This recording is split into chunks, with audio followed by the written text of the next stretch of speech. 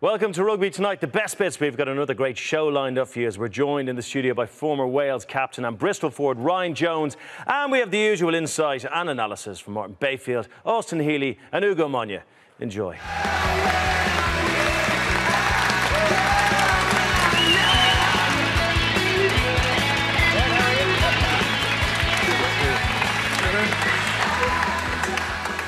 2006, Wales' sexiest man. Big It was year the first sexiest man, not the 2006. The first. The first. And the last. One, yeah. um, good to have you here. How, how has life been uh, since retirement? I know you didn't want to retire. The shoulder just, just gave up in you in the summer, and, and that was it. yeah, di- different, difficult, as we all know. It's something that all sportsmen sadly have to go. You know, we go through two retirements, if you like. But um, no, it's been, a, it's been a period of change, but it's been great on from another uh, viewpoint. You know, it's been a Rugby World Cup year, so we've had a fantastic time during that period. Great to spend Christmas with the family.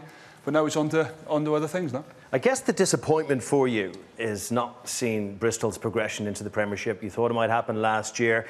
Looking in pretty good state at the moment in the uh, Greene King Championship. Um, how is it down there? How have they dealt with the disappointment, and what are their hopes for the next five months? Well, it's been incredibly disappointing. Bristol's a wonderful city with, you know, one and a half million people in who are crying out for top flight sport. Yeah, um, and I think the, the rugby club are able to deliver on it. Uh, we, have a we had a fantastic following. We have a fantastic following. You know, in playing in the championship on a Sunday, we would often get in excess of eight, 9,000 people. So it's, it's a great rugby city. And I think just going that foot, foot, the step into the Premiership, I see you, you'll see a totally different Bristol team. They really will ignite, and I think they'll they'll settle in that Premiership nicely. Were they really prepared to spend half a million quid, possibly euro, on Ian Madigan from Leinster? How much cash is there down in the West Country? Yeah, I think there's a fair bit, you know, I th- but I think they they're prepared to do whatever it takes to establish themselves at the top of English rugby, where where they feel and rightly so that they belong. For you, what is the standout moment in your career? Is it, is it Grand Slams or is it something more than that? Uh, It's tough, you know. Over the, I spent the last six months reflecting on it. I've had some wonderful one, personal accolades, Grand Slam, winning trophies, lifting silverware as a Welshman at Millennium Stadium. You know, is something that we dream of. But you know, on, a, on a stranger note, the, the one moment that sort of stands out for me is this: we, the day we won the haka, if you like, in 2008, 2008 against New Zealand, where we had a we had a standoff, and sadly the referee didn't blow up. Then we still went on and lost the game. But it, was, uh, it was pretty special. It's a great moment. Now, I want to look at something here because I noticed, forgive me for always staring at your groin in matches, but I'll explain why. Because you're staring down the All Blacks and you have an interesting place to keep your hat. I hope it's his hat. As- It, it's safety wear, so it's important you keep the. Um, yeah, but you can see the players looking at you. I mean, Stephen Jones is clearly about to belly laugh. And I that we- hat then goes on your head. Yeah, Richie McCaw was quaking his boots about now, I think, you know, seeing that bulge. But um, no, it was something I've never lived down. The, uh, There, there it is again. That's a You bum love bag. your scrum hat. it's, uh, yeah, I It's a do nice love, I do bag, love that. my scrum. Hat. Does a bit of shopping, never gets any money nicked. Perfect. now, we've been asking you for your best pieces of skill for, well, all week really, and this one stood out. There was a few hoverboards, but this one was our favourite. Let's take a look at it. Nice little kick over the head, then the handstand, and then he goes for the conversion and fails. So we thought that we could potentially just give it a bit of a go with a slightly more talented, uh, well, well, Craig's here as well, uh, two talented ex-rugby players and Craig to see if we can get it going with a bit of adaptation. Let's see if we can do it. First bit's all right. Was so tight, though. Look at this quote from Richard Cockerill, because questions were asked about the selection that he made. This is what he said. We chose to pick the side we picked, and we backed that decision. I'm not going to make any excuses. So he starts with, uh, with Balmain, Ayerza, and Harry Thacker. And maybe, we're not picking on Harry Thacker, but you said that he's a small guy. How does that affect things? This is our, this is our Leicester front row. This is our Saracens pack. So let's just have the front rows down at the moment. Um, and just explain how you attack uh, maybe a weaker scrummager. Yeah, what we're trying to do is trying to break this bind here and widen these hips. That means the second row then has got to, he's got to make a decision. He either stays with his with his loose head or he has to stick with his hooker.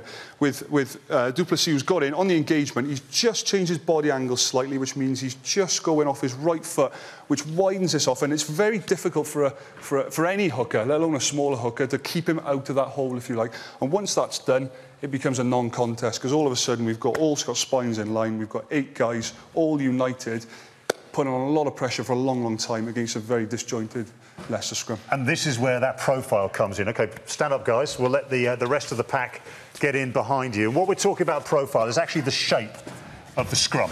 Yeah, if you look, what, what we want to do, if we just engage slightly, fella, gently, fellas. So, okay, so we can see the picture here. This is how it should be done.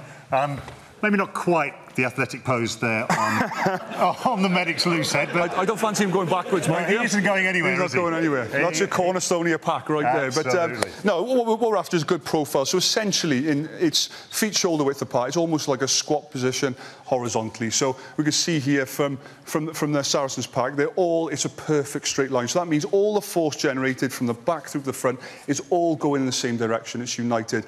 As the ball comes in, all these feet are on the ground, and you'll just see a little dip dip, and they'll little dip and they'll go. And that, because it's, it's, it's united, it's disciplined, it's very, very disciplined, the timing is perfect.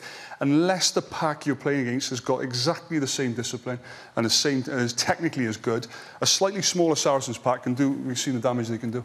Clock struck 12 and 2016 arrived. A lot of athletes would have got very, very excited indeed, including our very special guests tonight, because you, ladies, Natasha Hunt, Emily Scarratt, Rachel Burford, are going to be playing sevens in Rio, the Olympics. How exciting is that? Not just for women's rugby, but for rugby as a whole. Yeah, definitely. I mean, it's, it's in the back of our minds at the minute. Um, we've got a lot of tournaments to get through. I think we've got eight tournaments to get through before that point, and obviously risk of injury, etc. Um, just making sure you stay on the ball. But it's going to be incredible. Like for whoever gets to go out of our squad, it's going to be an unbelievable thing to be part of an Olympic Games and something that everyone's really building towards at the minute. Emily, before we look forward, let's look back as well because the rise of the women's game has been absolutely sensational. World champions and now Olympic rugby. Do, do you pinch yourself sometimes to think I'm playing rugby at just the right time because this is amazing. Yeah, I think when I first started playing rugby, especially when I first got capped, I never believed that we'd be able to be professional. Um, and now we all do it as, as our job, which is you know, uh, we do pinch ourselves. It is a dream come true. And like you say, off the back of 2014, having it now in the Olympics and having that opportunity to play on the greatest kind of global sporting stage that there is, is you know, it's really exciting for us. Let's talk uh, Olympics, Rachel, and talk what it means because it is one of those titles which just stirs the spirit and Olympic Games. Yeah, I think it's huge. I think everybody gets behind the Olympic Games, whether it's rugby or it's football. You know, you just look at the women's football and how that took off, and you know, it's going to reach new fans, new people, and hopefully that's going to, you know, have a, a ripple effect post the Olympic Games that more people want to pick up the rugby and get involved. Let's have a look and see what you've done to get to this point because there's been various qualifications that have been needed. So you secured qualification back in May and then in October, players from Wales and Scotland joined to become Team GB. Let's talk about this, this getting the players in from the other countries. Emily, what's it like suddenly having the Welsh and the Scots alongside you? Yeah, I mean, to start with, it was probably slightly strange, probably more strange for them coming into an English programme. I think if it was the other way around, it'd be, you know, a daunting prospect for us. But they fitted in really well. You know, they're there on merit because they're good enough to be there, and actually they're putting their hands up as, as much as the rest of us are. And it's creating a really, really kind of um, competitive environment. And you know, heading towards Rio, it's it's going to be really tough. Absolutely. And Sasha, let's look ahead then. What comes your way? Because it's going to be pretty, pretty busy. This is the road to Rio. You're going to hear that a lot over the coming months. There's a sevens tournament in March.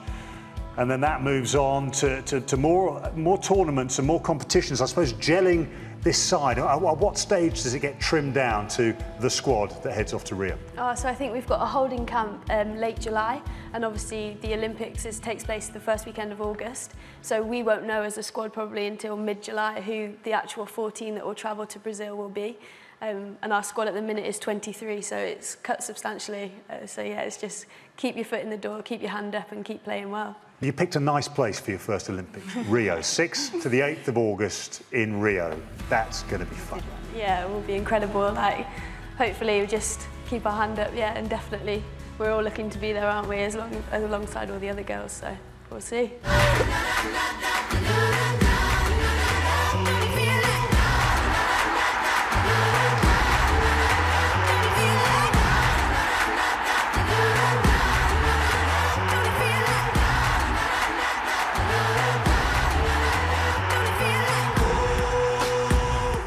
Hello guys, I'm ever so sorry that I'm not there tonight. Um, thank you very much for the award. Thank you to the judges and to the members of the public through the Viva Tense Judge for voting for me. Um, I wish you all the best. Uh, hopefully, I'll see you guys soon. Did you know that, that Ryan had a trial for Bristol? Okay, he Bristol. could have been a goalkeeper, right? We're going to test you to your full here. Do you play any footy at all? Yes. Okay, off we go. Ugo, you're up first. Oh, it's a good pen. Oz. Hang on, is the man ready? Off you go. Go, go, go. Oh, oh it's flat. What a save. Happy to die. Top right. well. Oh! again, Girls, come in. Let's see you hit a few of these.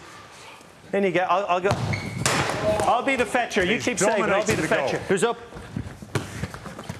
Here you go, girls. There you go. Oh, oh, good. I got it. I got it. Okay, Rachel. Oh, Oh, yes. One more, one nice. more, one more. One more.